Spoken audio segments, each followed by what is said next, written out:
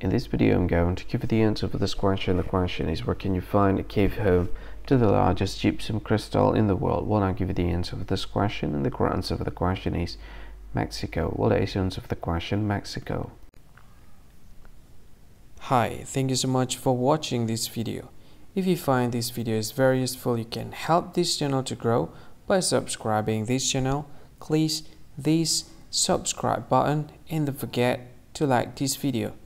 And if you find this video is not really good or you don't really like this video or you kind of feel that it's a little bit offensive or something like that, you can click this one, dislike button. You can do that anyway. And if you want to share this video with your friend, you can share it by clicking this share button and you can share it to any any social media that you wish that is currently available at this time like Facebook, Twitter, LinkedIn, and many others. Right? And if you want to add this video to your playlist, you can click this one. You can watch this video later and you can find more options by clicking these three dots. And yeah, don't forget to subscribe. I think that's all of it. Thank you so much for watching this video and see you again in another video. Bye bye.